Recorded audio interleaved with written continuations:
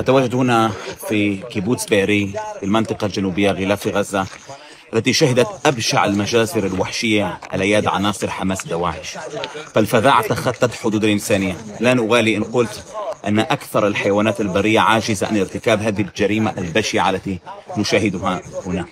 في منطقة الغلاف أكثر من ألف إسرائيلي سقط وكانت ضحية إجرام هؤلاء البربريين بينهم أطفال ورضا ونساء. قتلوهم هؤلاء أشباء الرجال بعد أن استوقوا عليهم وعذبوهم لا ذنب لهم سوى أنهم إسرائيليين.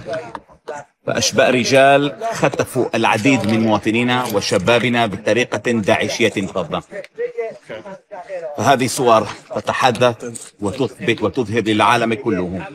حقيقة هؤلاء حقيقة هؤلاء الحمسويون الذين ذبحوا وارتكبوا هنا أبشع المجازر لا يمكن الحديث معهم عن أخلاق وعن قيم إنسانية.